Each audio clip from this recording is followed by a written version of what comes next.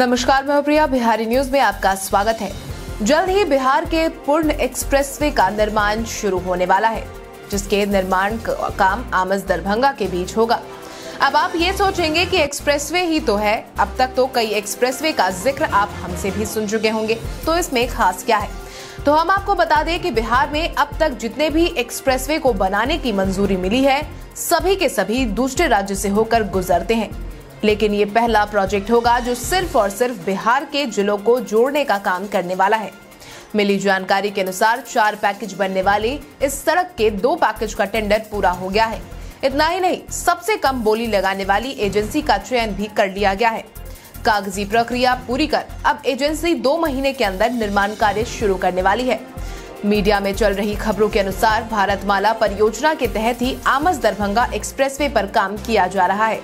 इस एक्सप्रेसवे के दो पैकेज की मंजूरी हाल ही में केंद्रीय सड़क एवं राजमार्ग परिवहन मंत्रालय ने दी है। वहीं जिस पैकेज का टेंडर हुआ है, उसका निर्माण 2024 तक पूरा करने का लक्ष्य है। मिली जानकारी के अनुसार ये सड़क फोर लेन की होने वाली है। इस सड़क के बनने से पटना का गया और दरभंगा एयरपोर्ट से सीधा संपर्क हो जाएगा। उत्तर और दक्षिण बिहार के बीच सीधी संपर्कता होगी। कच्ची दरगाह बिद्दुपुर के बीच बन रहे पुल के माध्यम से वो वैशाली में प्रवेश करेगी। मुख्यमंत्री नीतीश कुमार ने इस बख्तियारपुर ताजपुर पुल को ताजपुर तक जोड़ने को कहा है। ऐसे में सड़क की उपयोगिता और बढ़ जाएगी। वैशाली से समस्तीपुर और दरभंगा होते हुए नेपाल सीमा पर जाकर जयनगर में ये सड़क खत्म होगी। इस तरह फोर लेन बनने वाली ये सड़क पटना के अलावा औरंगाबाद, जहानाबाद, वैशाली और मधुबनी से होकर गुजरेगी।